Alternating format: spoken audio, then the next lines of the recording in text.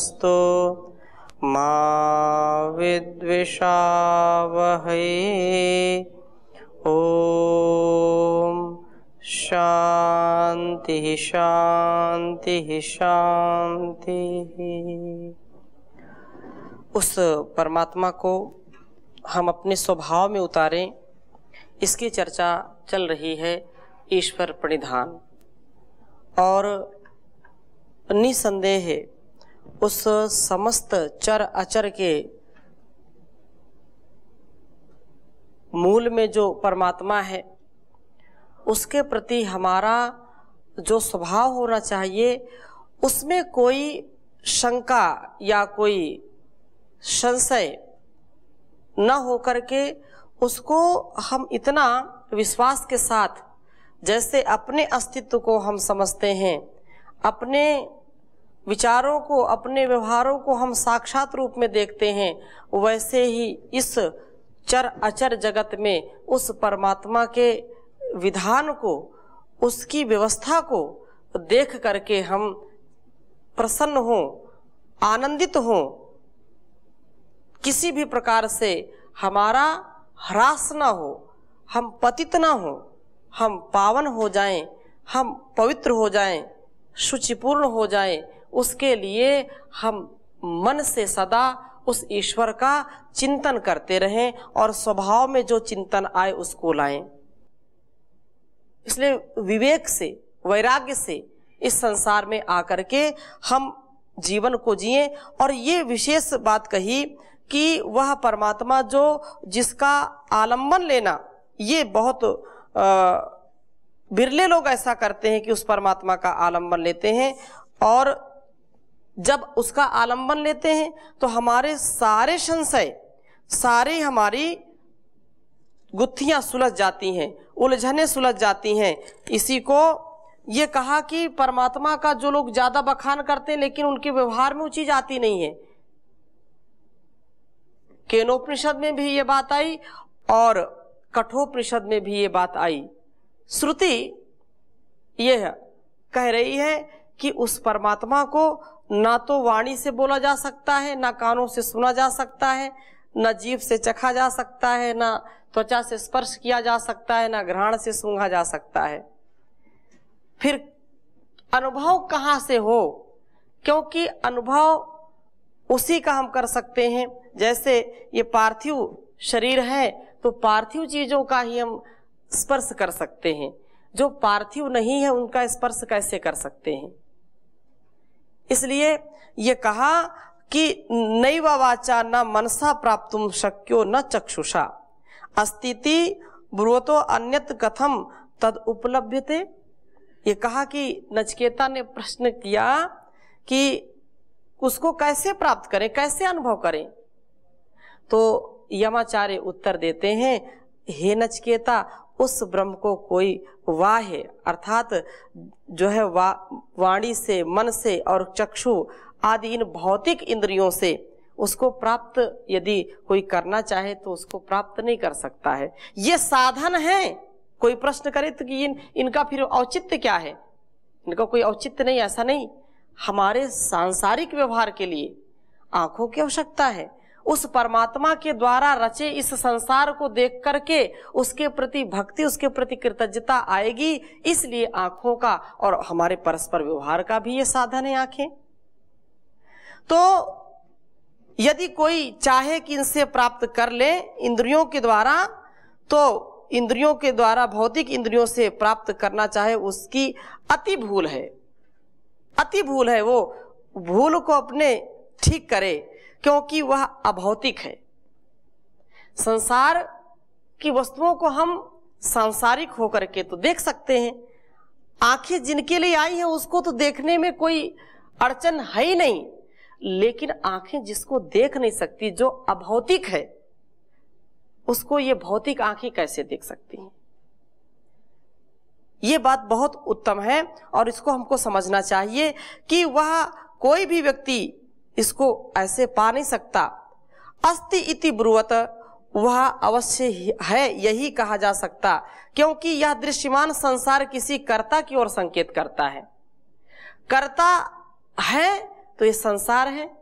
जो भी हम वस्तुओं का प्रयोग करते हैं तो उनका कोई बनाने वाला होगा, कोई कंपनी है, कहीं से कंपनी से बन कर आता है, ये वस्त्र भी हम पहनते हैं तो कोई बनाने वाला है। तो ये सारा संसार जो बना बनाया हमको दिखाई पड़ता है तो कोई बनाने वाला तो है। जब हम ये मानते हैं कि मकान को बनाने वाला इंसान है तो इस संसार रूपी मकान को बनाने वाला भी तो कोई भगवान है। ऐसे यदि दृढ़ता हो जाए हमारे मन में तो ईश्वर प्रणिधान आरंभ हो जाएगा। इसलिए कहा कि वह संकेत, ये सारा संसार संकेत कर रहा है। पत्ता पत्ता उसकी सत्ता को बता रहा है। पत्ता पत्ता उस परमात्मा की सत्ता को बता रहा है, उसका बखान कर रहा है। यदि उसमें ना हो वो, उसका संचालन ना करे, उसकी व्यवस्था ना करे तो कैसे वनस्पतियाँ चलेंगी? कैसे यह सारा संसार चलेगा? इसलिए कहा कि जहाँ नियम और व्यवस्था देखी जाती है, वहाँ नियामक भी होता है। जहाँ नियम होता है, वहाँ नियामक होता है। नियामक अर्थात नियम को चलाने वाला, नियम को बनाया और उसको चलाने वाला, नियंत्रण करने वाला। बुद्धदेव जी गाड़ी चलाएँगे तो उसका नियंत्रण भी करेंगे और ये गाड़ी पे नहीं बैठेंगे अन्ना जी गाड़ी पर नहीं बैठेंगे तो गाड़ी चलेगी क्या? नहीं चलेगी। जब नियंत्रण करने वाला होगा तो चलेगी। एक बार गाड़ी स्टार्ट कर दिया, कल्पना करें, अरे बस ठीक है, कुछ लोग बोलते हैं, ये तो घटना है। कुछ वैज्ञानिक बोलते हैं, घटना है सब खगोली घटना है और ये ऐसा ऐसा हुआ और इसके बाद वो चल पड़ी दुनिया। चल पड़ी दुनिया तो कहीं इसका अतिक्रमण नहीं हो रहा, ऐसा क्यों? कहीं अव्यवस्था नहीं हो रही है? ऐसा क्यों? जहाँ व्यवस्थापक होगा, वहाँ अव्यवस्था नहीं होगी। जहाँ व्यवस्थापक नहीं है, वहाँ अव्यवस्था होगी। छोटे छोटे व्यवहार से आप देखिए। इसलिए कि वहाँ व्यवस्था, व्यवस्थापक का बोध होता है कि इस संसार को व्यवस्थित रूप से चलाया है। आप देखिए, अभी बरसात हो रही है। बरसात के पहले आप खेतों में दूसरे प्रकार के खरपतवार देखते रहे होंगे। अब थोड़ी सी बरसात हो गई, अब दूसरे प्रकार के खरपतवार होंगे। क्या उस समय बीज नहीं थे? लेकिन उस समय उनको उगना नहीं है। उस समय उनका समय नहीं है। अब बरसात होगी तो नए नए आपको कीड़े भी नज़र आएँगे। नए नए पतंगे भी नज़र आएँगे और नई नई वनस्पतियाँ भी नज़र आएँगी। तो इस व्यवस्था को कौन देख रहा है? एक नियम में तो चला रहा है। इसलिए विशेष कहा कि उस परमात्मा का बोध कराने के लिए ये सारा संसार है और प्रकृति, जड़ और चेतन अधीन होते हैं। प्रकृति, जड़ और चेतन जो है, अधीन होता है। जड़ स्वयं कोई चेष्टा और सुनियोजित परिणतत्व को प्राप्त नहीं हो सकती है तो कथम तद उपलब्धते उसको जानने का यही उपाय है कि वह इस सृष्टि का, जीवों के कर्म फलों की व्यवस्था का यथार्थ विधान करता है। कोई भी जड़ पदार्थ बिना किसी के चलाए, बिना किसी के व्यवस्थित किए, चल नहीं सकती। अब गाड़ी को स्टार्ट करके आप सड़क पर छोड़ दो और बोलो कि चलो, दिल्ली चलना है। चलेगी क्या दिल्ली? गाड़ी को स्टार्ट कर दिया और बैठ गए। बोलो कि एक बार स्टार्ट तो करना पड़ेगा, स्टार्ट कर दिया, बैठ गए।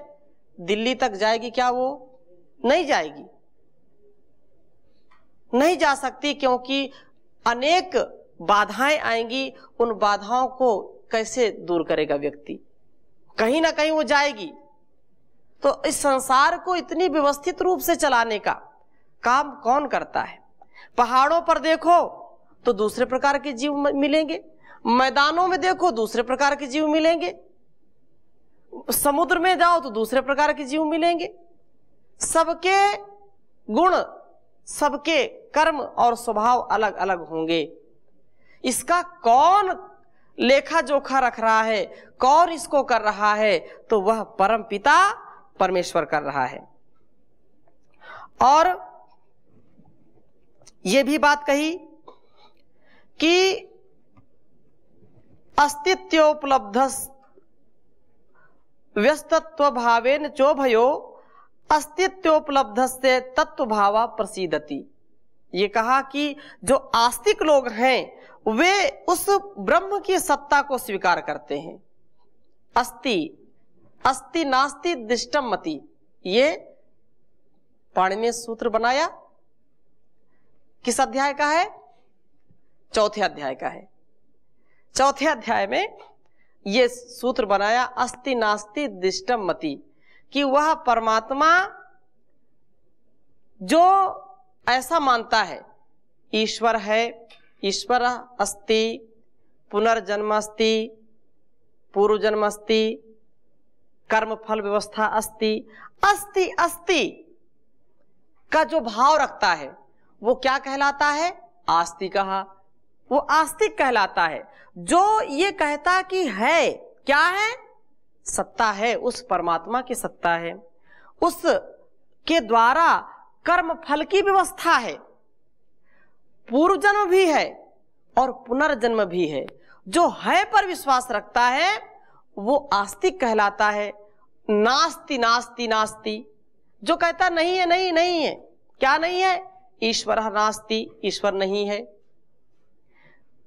कर्म फल व्यवस्था नास्ति, पुनर्जन्म व्यवस्था नास्ति पूर्व जन्म व्यवस्था नास्ति। जो नास्ति नास्ति की बात करता है, वो क्या है?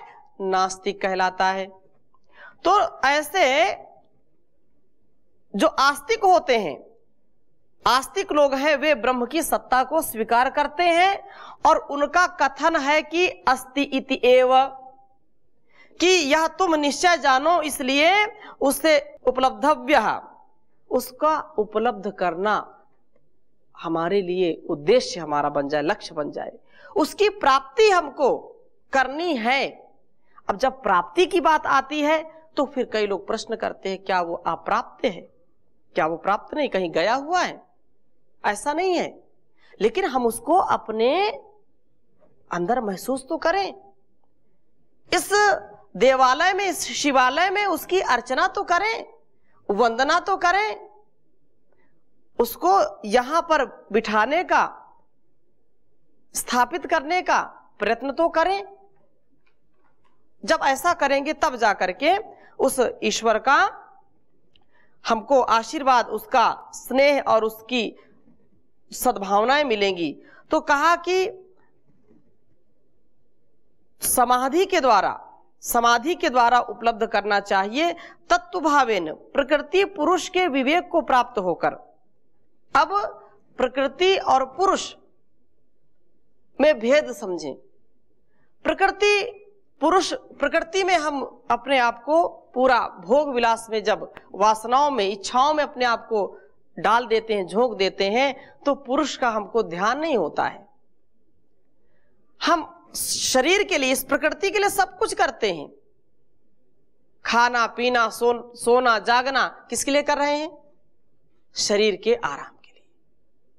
लेकिन आत्मा का क्या उद्देश्य है? आत्मा के लिए जो परमात्मा ने उपदेश किया है, संध्या, वंदन, भजन, कीर्तन, सुकर्म पुरुषार्थ, पराक्रम, उत्साह, परोपकार, परमार्थ, सदा शुचिता, पवित्रता, तपमय जीवन, उसके लिए हम कितना करते हैं? त्यागमय जीवन कितना जीते हैं? यह जब हम विचार करके अपने स्वभाव में उसको उतारने का प्रयास करेंगे तो जाकर के हमारे अंदर वो आस्तिकता का प्रादुर्भाव होगा। यदि हमने जान लिया कि भाई इस भोजन को नहीं करना, बहुत अच्छा भोजन किसी ने दिया और कहा कि वो क्या बताएँ, खीर तो बहुत अच्छी थी, इसमें जो है पकाते समय छिपकली गिर गई थी। कोई बात नहीं, छिपकली को हमने बाहर निकाल करके फेंक दिया है, लेकिन बड़ी केसर युक्त तो बहुत स्वादिष्ट ये खीर बनी है। आप खाएँगे? जब जान लिया कि इसमें विष है तो विष को जान करके कोई भी व्यक्ति उसको खा नहीं सकता। तो जब जान लिया कि संसार का क्या व्यापार है तो संसार में हम अपने आप को क्यों झोंक रहे हैं? संसार के भोगों में अपने आप को जब हम लगा देते हैं तो पता नहीं चलता। और मोह में अपने आप को हम ये भी नहीं समझते कि कर क्या रहे हैं, करना क्या चाहिए था। हमारा उद्देश्य क्या था और हम कर क्या रहे हैं? इसलिए जब तक इसका हम चिंतन नहीं करें, तब तक समाधि की प्राप्ति नहीं होगी, ईश्वर प्रणिधान नहीं सिद्ध होगा। ईश्वर प्रणिधान से ही हमको समाधि मिलेगी। तो उस ब्रह्म के अस्तित्व को स्वीकार करते हैं और वह हर समय प्रसिद्धति प्रसन्न रहता है। जो ईश्वर की सत्ता को स्वीकार करता है, उसकी व्यवस्था को स्वीकार करता है तो ऋषि ने कहा कि प्रसिद्धति हमेशा प्रसन्न रहता है। उत्साह से लबालब भरा रहता है। कृतज्ञता से, पवित्रता से, शुचिता से, कर्मठता से, पुरुषार्थ से, पराक्रम से बिल्कुल वो अपने को व्यवस्थित करके रखता है। और प्रसादे सर्व दुखा नाम हारे सोप जाए थे जब प्रसन्न व्यक्ति रहता है तो उसके अंदर ऐसे हार्मोन्स का सिक्रेशन होता है, जो उसको सदा आगे बढ़ाने का काम करता है। हताशा, निराशा, तनाव, दुर्भावना ईर्षा द्वेष, छल, कपट वो सब दूर रहते हैं उससे। मन के पाप भी उससे दूर रहते हैं। इसलिए ईश्वर परिधान करना परम आवश्यक है। कि हम उस ईश्वर को समझें और हमेशा प्रसन्न रहें। उसके सभी दुख और शोक समाप्त हो जाते हैं। अर्थात दुख आने पर घबराता नहीं है जो ईश्वर परिधान करता है। ईश्वर परिधान से युक्त व्यक्ति पहाड़ भी टूट करके उसके ऊपर गिर जाए तो उफ नहीं करेगा। ऐसा उसका सामर्थ्य बढ़ जाता है। और सुख आने पर बहुत प्रसन्न नहीं होता। दुख आने पर घबराता नहीं है। यही योग का रहस्य है और यही समत्व भाव है। ऐसे भावना से व्यक्ति जब आगे बढ़ता है तो कैसे उसका जीवन श्रेष्ठ नहीं बनेगा? ज़रूर बनेगा। ये अगर अभी नहीं तो कभी नहीं। अभी नहीं तो कभी नहीं। इसलिए बार बार ऋषि कहते हैं यह चेद अवेदित सत्यमस्ती। आज जो करना है कर लो। कल क्या होगा? कल किसने देखा?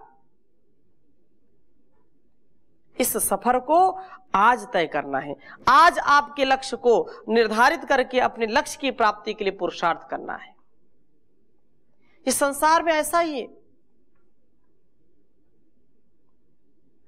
आदित्य से गता गतैरहरः संक्षीयते जीवनम्। व्यापारै बहुकार्यभार गुरुभिः।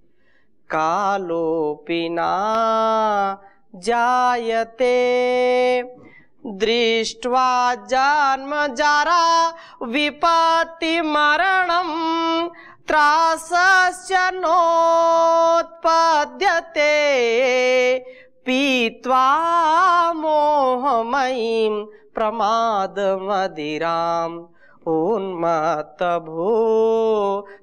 जगत् उन्मत्तभूतं जगत्।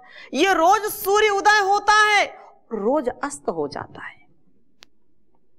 और रोज हम देखते हैं कि कोई मरता है और कोई जन्म लेता है। रोज हमारा जीवन एक एक दिन, एक एक पल, एक एक घंटे छोटा होता जा रहा है। लेकिन हम इस पर विचार नहीं करते कभी। कभी हमको वैराग्य नहीं आता। बहुत सारे व्यापारों से, बहुत सारे कार्यों से हमारा जीवन दबा हुआ है। कार्यभार इतने हैं क्या पूछिए मत। कार्यभार से जीवन दबा हुआ है। इतना कार्यभार है कि कब सुबह हो जाती, कब शाम हो जाती है, कब भोजन का समय व्यतीत हो जाता है। पता ही नहीं चलता। कालो पिना जायते समझ में नहीं आता कब दिन हुआ, कब रात हुई। दृष्टवा जन्म जरा विपत्ति मरणम त्रासस चनोत्पद्यते रोज देखते हैं कि लोग जो है मर रहे हैं। रोज देखते हैं कि कितने लोग दुखी हैं, कितना बुढ़ापा है, कितना परेशानी है। फिर भी त्रासस चनोत्पद्यते भय उत्पन्न नहीं होता। क्यों? पीतवा मोहमयीम प्रमाद मदिराम। क्योंकि प्रमाद रूपी ऐसी मदिरा पी रखी कि उतरती नहीं है। मोह रूपी जो मदिरा है, मोह से हमारी आँखें जो बंद हो गई हैं। जो हमको देखना चाहिए था, वो देखना बंद हो गया है।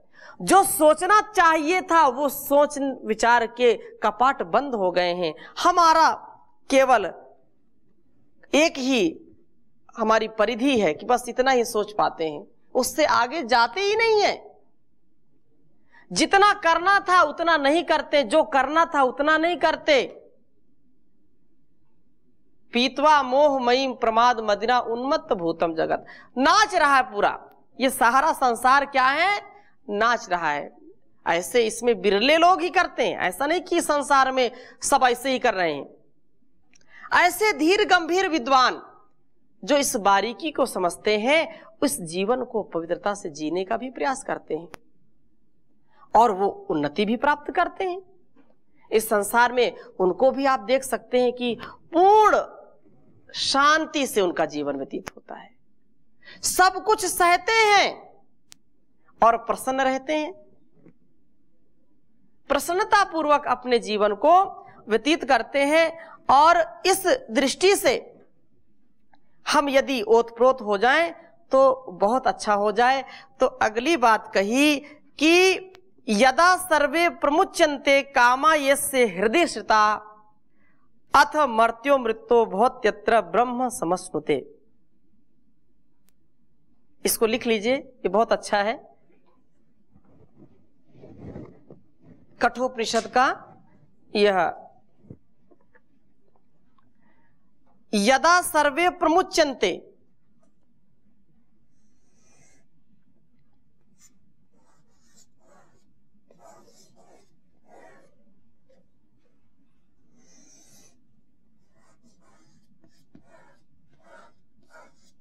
यदा सर्वे प्रमुच्यन्ते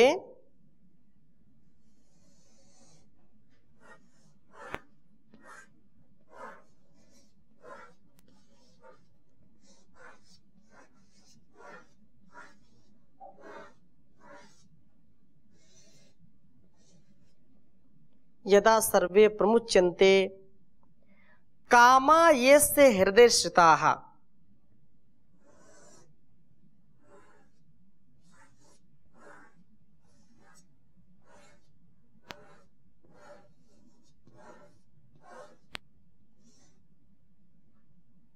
कामा यस्य।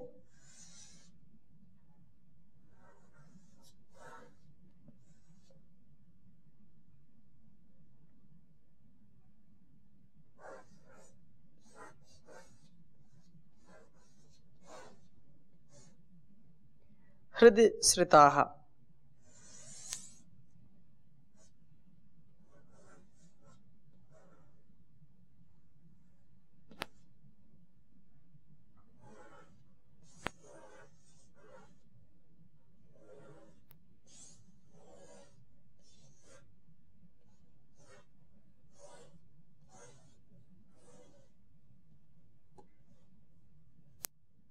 हृदयश्रुता अथ मर्त्यो अमृतो भवत्यत्र।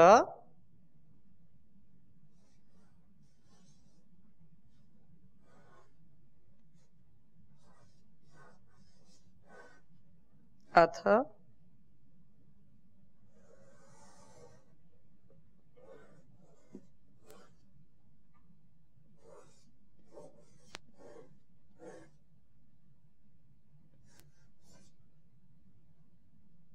मर्त्यो मृतो।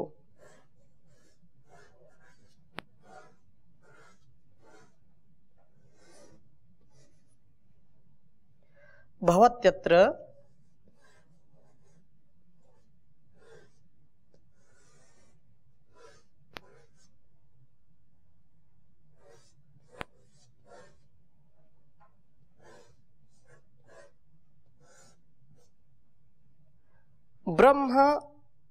समश्नुते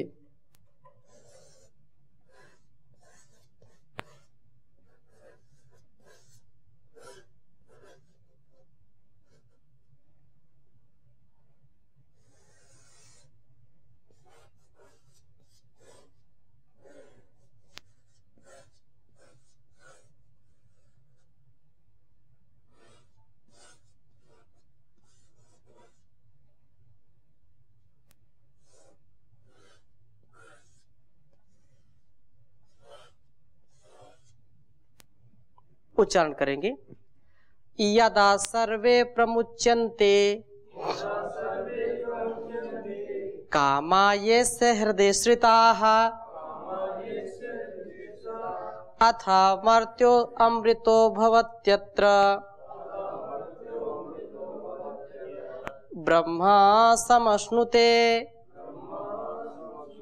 यदा सर्वे प्रमुच्यन्ते। कामा ये यस्य हृदय श्रिताः अथ मर्त्यो अमृतो भवते। भवति अत्र ब्रह्म समश्नुते अथ मर्त्यो अमृतो भवति। अत्र ब्रह्म समश्नुते तो ये बहुत उत्तम बात कही कि नचकेता को यमाचार्य समझा रहे हैं और उस ब्रह्म के विषय की चर्चा चल रही है। तो कह रहे हैं कि, हे नचकेता, यदा अस्ते हृदय श्रिता सर्वे कामा। कि जब इस पुरुष के हृदय की सभी कामनाएँ प्रमुचनते छूट जाती हैं। इस मनुष्य के हृदय की सारी कामनाएँ क्या हो जाती हैं? छूट जाती हैं, चाहे वह कामना पुत्रेषणा की हो, वित्तेषणा की हो या लोकेषणा की हो। तो वो ऐसी ऐषणाएँ की प्राप्ति की है अथवा उसके पश्चात ही मरते, या मरण धर्मा मनुष्य मुक्ति की, अर्थात अमृता, मुक्ति की स्थिति में आता है, मुक्ति का पात्र हो जाता है जब हृदय की सारी कामनाएँ पूर्ण हो जाए या छूट जाए। ऐसी जो सात्विक कामनाएँ वो तो पूर्ण होंगी, लेकिन जो राजसिक और तामसिक कामनाएँ वो कभी पूरी होती नहीं, एक के बाद एक, के बाद एक, के बाद आती रहती हैं वो नहीं नहीं तो और उस ब्रह्म के आनंद का उपभोग करता है ऐष्णा वाला कभी ब्रह्म को प्राप्त नहीं हो सकता है। जिसके अंदर ऐष्णा है, इच्छाएँ हैं, लोक में प्रसिद्धि की, लोक में समृद्धि की, लोक में भोगों की, वो कभी भी ईश्वर परिधान से युक्त नहीं हो सकता। कभी भी वो प्रसन्न चित्त नहीं हो सकता। तो वह इस जन्म मरण के चक्कर में पड़ करके दुख भोगता रहता है। हम सभी उस पथ के पथिक बने जिसमें हमारा कल्याण हो, इस जीवन का उद्धार हो, ऐसी शुभ कामनाओं के साथ, शुभ संकल्पों के साथ आज की कक्षा को यहीं पर विराम देते हैं। शेष चर्चा अगली कक्षा में करेंगे। ओ शांति शांति शांति।